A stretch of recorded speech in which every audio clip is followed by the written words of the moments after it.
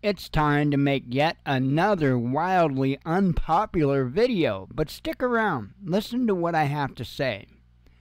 Many preppers are just sheep of a different flock.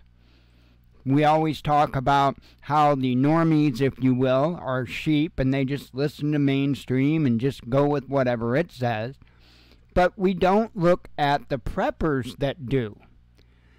Prepping channels constantly lie to beef up fear mongering in order to get more people to click on more of their content. Happens all the time, every single day. Just today, as an example, Bear Independent, he's a common violator of this. He talked about how what happened with yes, yesterday with Meta was a hack. They were it was a cyber attack. Nothing to do with a cyber attack. He doesn't provide a source because he doesn't have a source. All he is doing is putting into the emotions and the feelings of the people watching his channel. It doesn't have to be true. They don't care if it's true. Now you tell me how that differs from any other kind of sheep. It doesn't. It doesn't a single bit. I put out a video earlier explaining about what happened with the Meta servers yesterday. If Meta or Facebook was cyber attacked, you wouldn't have been able to access their websites at all. That was not the case. You were simply not able to log in.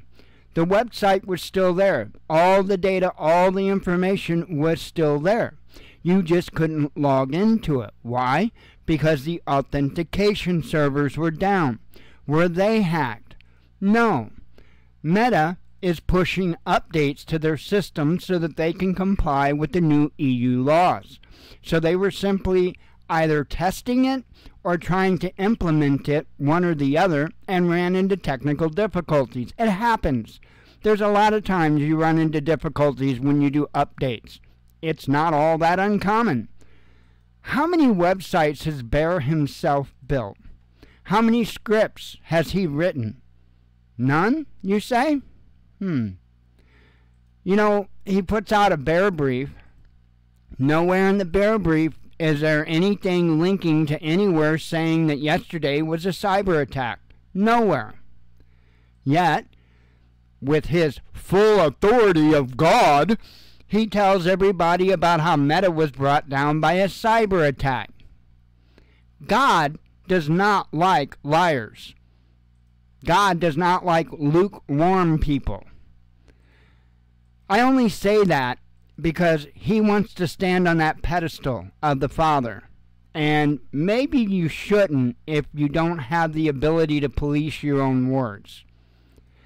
It's kind of funny that, and it's not just him, it's so many of these different prepper channels. I just pulled him out as an example because, well, he's a daily liar.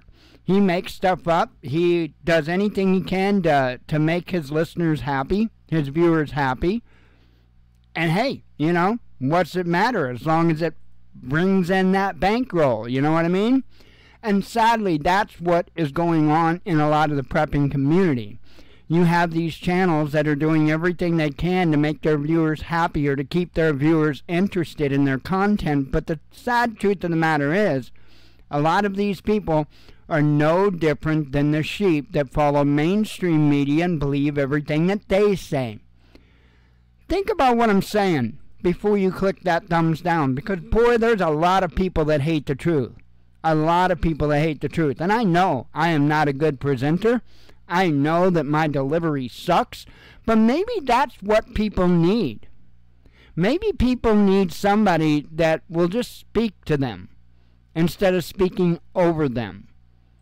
You know, I don't understand how any of us can be in a better position when we're following people that constantly lie.